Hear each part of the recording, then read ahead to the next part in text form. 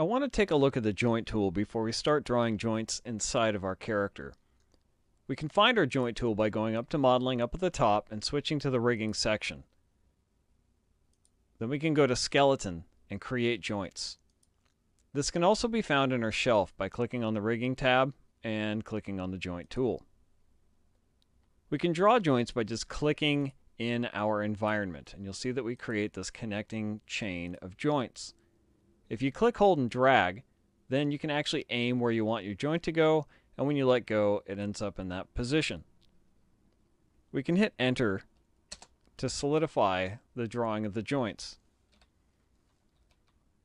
The joints themselves are set up with a parent-child relationship, so a forward kinematic relationship. So I can actually grab a joint and move it, and it will take all the child objects with it. Grab this joint, move that, and it will take all the child objects. We can also create new joints or a new strand of joints. And if you take the base, hold shift, click on another joint, go up to edit and parent, or we can just hit P.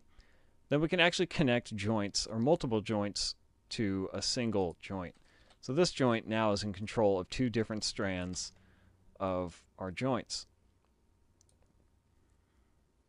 And it's not a big deal, but right now, but every once in a while when you come across a model that you're working on, the joints might be too big or too small, and you need to adjust them.